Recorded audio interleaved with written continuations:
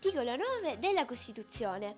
La Repubblica promuove lo sviluppo della cultura e la ricerca scientifica e tecnica, tutela il paesaggio e il patrimonio storico e artistico della nazione.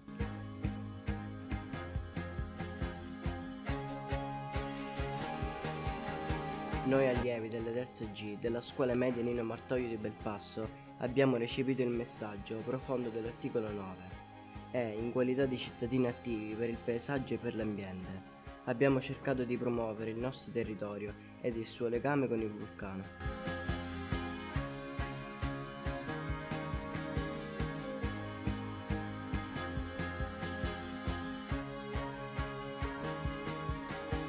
Un turista motivato potrebbe percorrere il sentiero 786, codificato dal club alpino di Belpasso, che dal paese, attraverso grotte di Piscitello e Cisterna Regina, conduce al rifugio di Monte Fampré, sull'Etna, a 1333 metri sul livello del mare.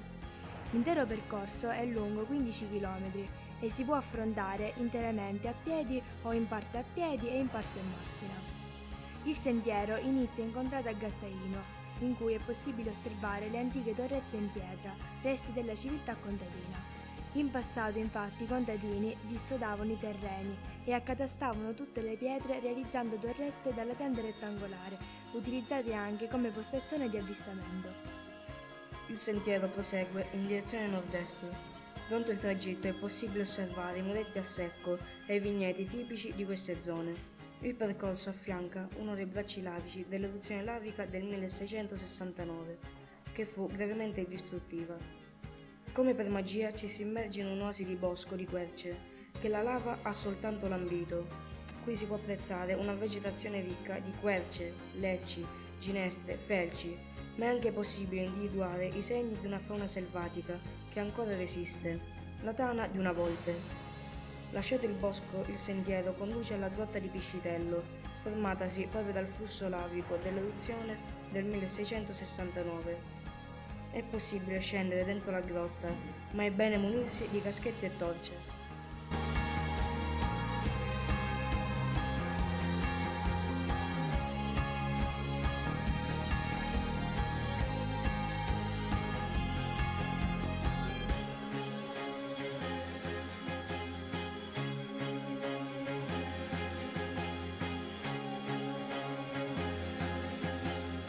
Proseguendo in direzione nord-ovest, il sentiero conduce alla reggia trazzera di Cisterna Regina.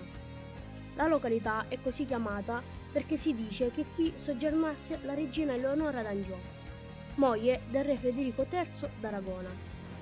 Pare che la regina avesse voluto la realizzazione della cisterna idrica per aiutare gli abitanti del territorio.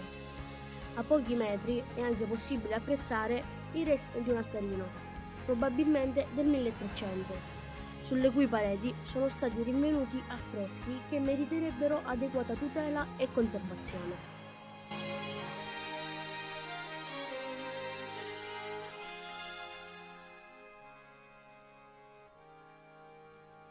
L'ultima tappa del sentiero in direzione Montesona è il rifugio di Monte Manfrè, realizzato nel 2015 dal comune di Belpasso il rifugio è immerso in un bosco di castagni secolari ed è stato costruito in legno e pietra lavica, infatti è perfettamente integrato con l'ambiente circostante.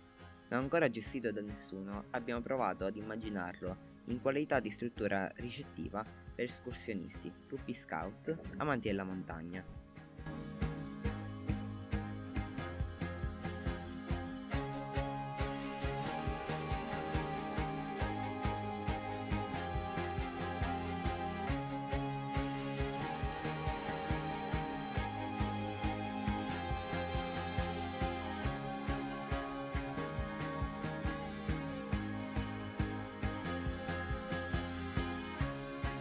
Veniteci a trovare!